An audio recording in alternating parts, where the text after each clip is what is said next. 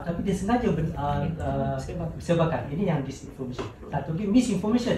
Dia, dia ingat benar bahawa tak benar. Tapi yang paling teruk malinformation. Malinformation ni uh, satu berita yang benar tapi di, dikeluarkan dengan purpose untuk kacau dia.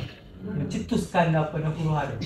Jadi apabila perkembangan teknologi terus maju seperti Facebook dan juga YouTube dan sebagainya dan pada awalnya uh, dia platform-platform ini adalah uh, satu bentuk platform untuk berkomunikasi saja. Dia boleh jadi media, dia boleh jadi uh, social commerce. Jadi banyak yang berniaga. Jadi itu telah menjadi platform itu telah berubah sifatnya daripada hanya untuk tujuan platform berkomunikasi ia telah menjadi sesuatu yang lain sesuatu yang boleh uh, mendatangkan apabila kita lihat secara keseluruhannya peringkat MCMC dan kerajaan telah melihat bahawa banyak kemudaratan yang berlaku dalam talian.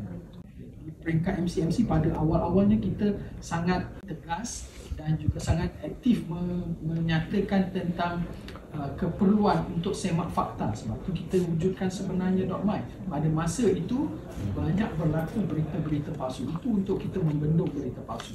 Tetapi itu peringkat awal. Apa yang berlaku sekarang ini adalah lebih parah lagi apabila jenayah cyber semakin berluasa sebagai contoh kita lihat fokus kita kita kepada kumpulan rentan eh. antaranya adalah kanak-kanak so bully cyber menurut kajian oleh ACPAD kita dapati bahawa 100 uh, ribu kanak-kanak di Malaysia berisiko uh, kepada pengeksploitasian seksual dalam talian. Dan 28 peratus kanak-kanak di Malaysia pernah menjadi bangsa bully cyber.